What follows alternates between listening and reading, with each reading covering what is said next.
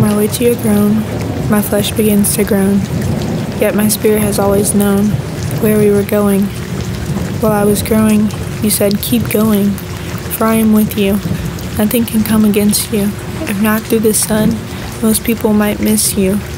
While in the midst of you, I discovered your word, the way, the truth, the light of my life. My soul ignites. To my flesh I die, and in my spirit I find life. The time has come. To the right side of God remains his Son, where victory is won.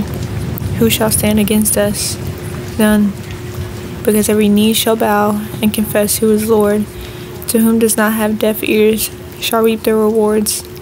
In the kingdom of you, and which I'm traveling to, your word remains in me, therefore nothing can conquer against me.